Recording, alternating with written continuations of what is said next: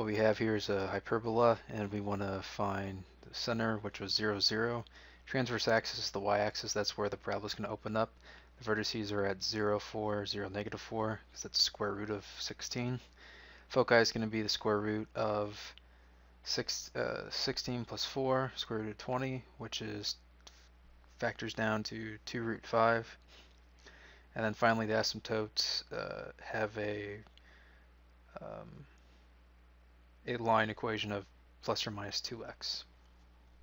Okay, so graphing this, I've, I've got my,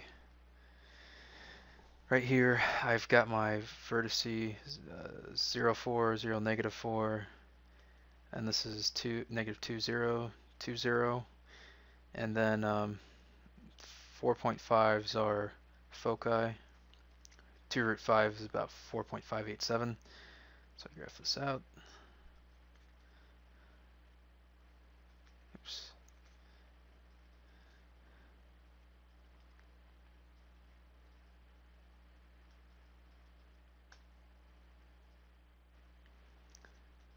There we go.